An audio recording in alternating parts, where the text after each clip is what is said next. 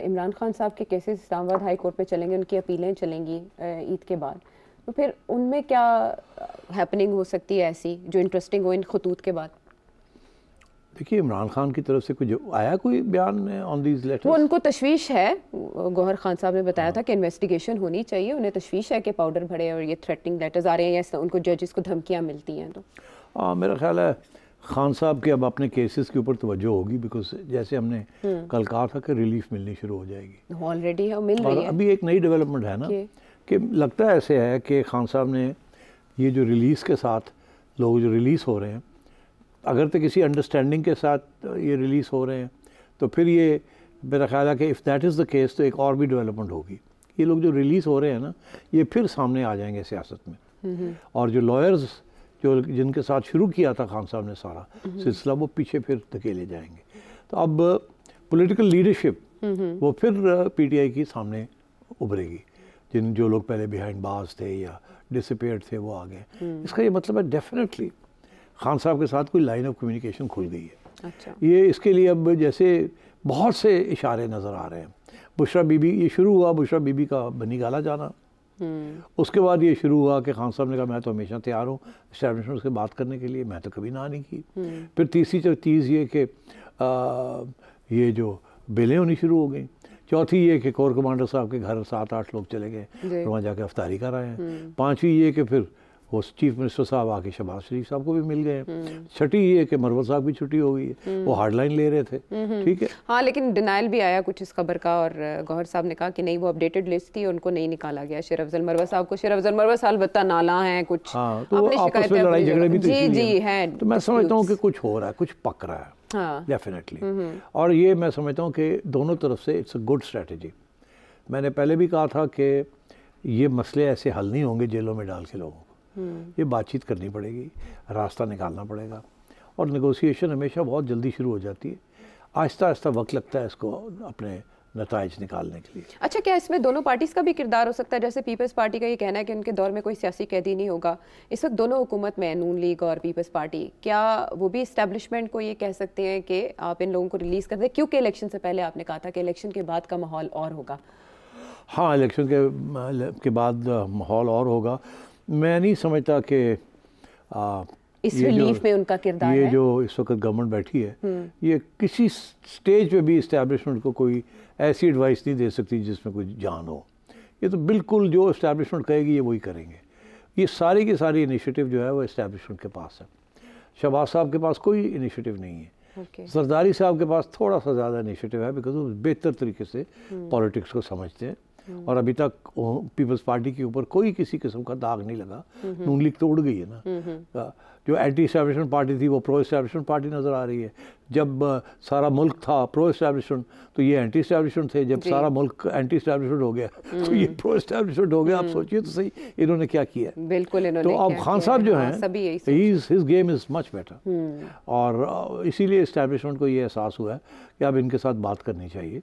Because जो establishment की assessment थी इलेक्शन के बारे में वो गलत निकली है। हम्म। उनका ख्याल था कि खान साहब पॉपुलर हैं मगर हमने तीन चार ऐसे कदम उठाए हैं जिसके साथ इनको इतना वोट नहीं पड़ेगा। हम्म। और फिर उस वक्त के आपने देखा होगा कि जो पोल्स पोलिंग हो रही थी वो भी यही कह रही थी कि नून लीग बढ़ रही है। सर्वेस जो थे वो हाँ। वो पीछे से आ रही है आ रही है। हम्म। और फिर आपने देखा जो दौड़ भाग शुरू हो गई नून लीग का टिकट लेने के लिए। तो उससे भी यही इशारा हुआ कि शायद इस टाइम हवा जो है पीटीआई की इतनी नहीं है जितनी जितनी ये आप बन, बन, बन रही है वो सारी वजह से एक असेसमेंट हुई कि जी इलेक्शन करा दो कोई एडी वड्डी गल नहीं है।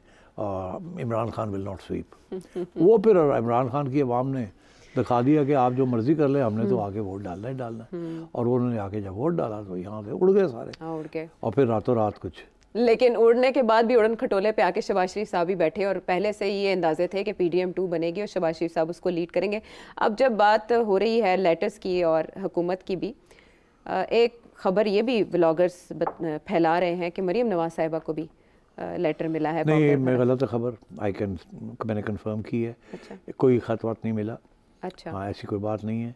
अभी किसी सियासतदान को इस किस्म का ख़त नहीं मिला है मेरे मतलब मुझे मुझे तो यही समझ आ रही है। जैसे आप कह रही हैं ना कि सिंध और बलूचिस्तान और के पी के हाई कोर्ट्स में जजेस को कोई खतवत नहीं, नहीं मिला। अभी तक सियासतदानों को भी अभी तक कोई खतवत नहीं मिला। ठीक है। तो इससे भी वो जो हमारी थियरी है ना पहली conspiracy theory because except for PTI सारे सियासतदान तो हाँ। किधर है आपको पता ही है। जी। कहाँ बैठे हुए हम्म। ठीक है बिल्कुल तो उनको खाते उनको क्या धमकी देने की ज़रूरत है?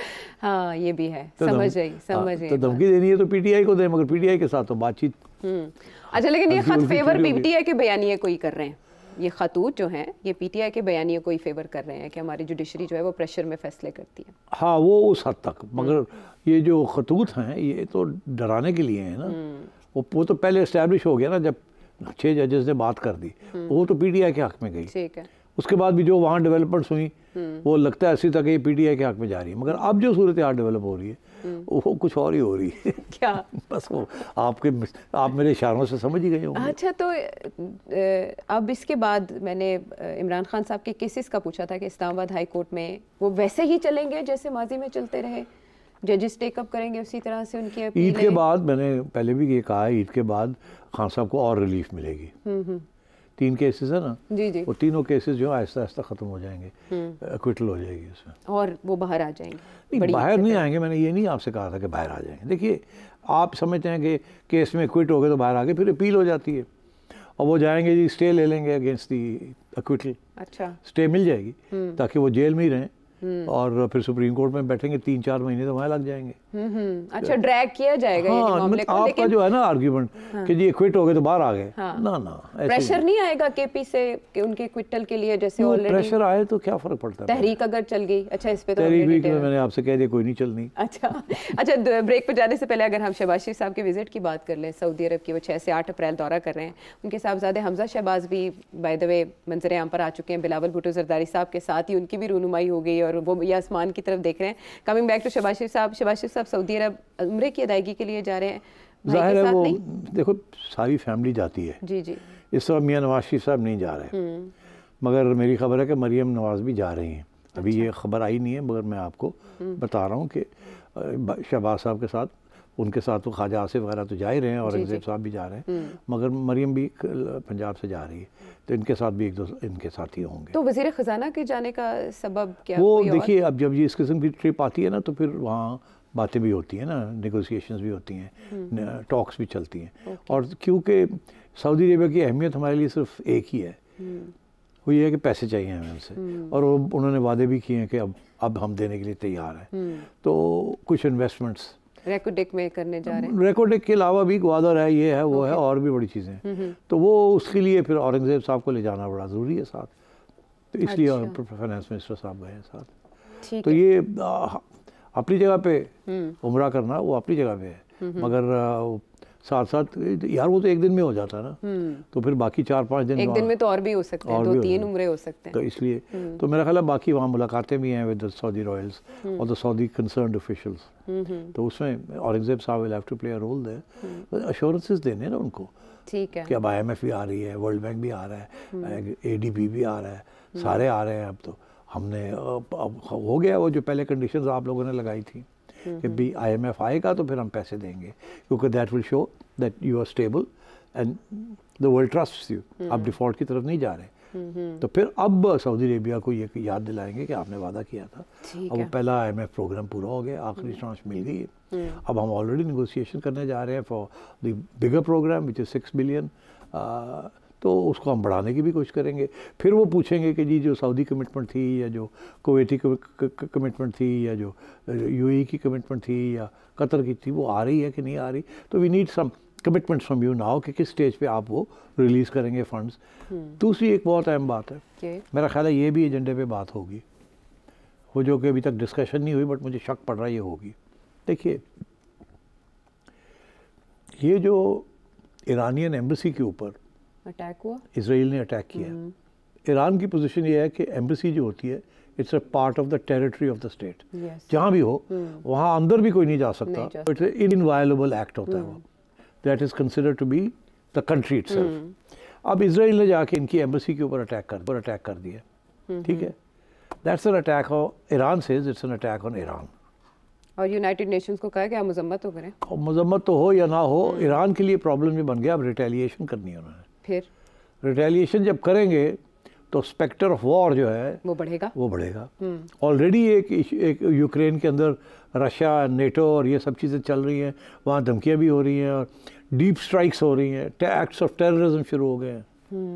दैट वो थिएटर हीट अप हो रहा है। कम नहीं हो रहा है हीट अप हो रहा है। इंसिडेंट्स और अगर यहाँ ईरान एंड इसराइल का थिएटर हीट अप हो गया तो सारा मिडल ईस्ट हीट अप हो जाएगा। हीट अप तो अपनी जगह मगर क्या होगा? कि ऑयल की सप्लाईज जो हैं वो डिस्टर्ब हो जाएँगी। जब ऑयल की सप्लाईज डिस्टर्ब हो जाएँगी तो ऑयल की कीमत इंटरनेशनल मार्केट में बढ़ जाएगी। जब ऑयल की कीमत बढ़ जाएगी तो पाकिस्तान के लिए it will be a disaster हमने ऑलरेडी जो बजटिंग की हुई है वो एक ऑयल की प्राइस की स्टेबिलिटी के ऊपर हमने की हुई है। अगर ऑयल की प्राइस 20 परसेंट पच्चीस परसेंट तीस परसेंट बढ़ जाती है तो वी ये सारी जो हमारी कैलकुलेशन है बजट की ये सब उड़ जाएँगी। और जो फिर ये जो इस वक्त हमें ये कहा जा रहा है कि इन्फ्लेशन गिरने लगी है इंटरेस्ट रेट्स गिरने लगे हैं ग्रोथ हम्म। बढ़ने लगी है ये हम्म। सारी बातें शुरू हो गई ना। तो ये सारा के सारा जो है ना प्रोजेक्ट ही उड़ जाएगा। अगर एक ऑयल की कीमत इंटरनेशनली बढ़ जाती है बिकॉज़ ऑफ़ दिस टेंशन पहली टेंशन यूक्रेन एंड रशिया दूसरी tension Iran and Israel Iran Israel are very dangerous because that's where the whole region the oil comes from अभी लेटेस्ट पोजिशन ये है कि दुबई यू जो कि एक दिन पहले इस अटैक से एक दिन पहले वो इकट्ठे बैठ के गपशप कर रहे थे और उनके एम्बेसडर्स और एक दूसरे के साथ। हम्म। और जब ये अटैक हुआ है तो अब यू ने कहा डिप्लोमेटिक टाइज ही डिस्कनेक्ट करने जा रहे हैं हाँ। सऊदी अरेबिया भी पीछे हट गया। हम्म।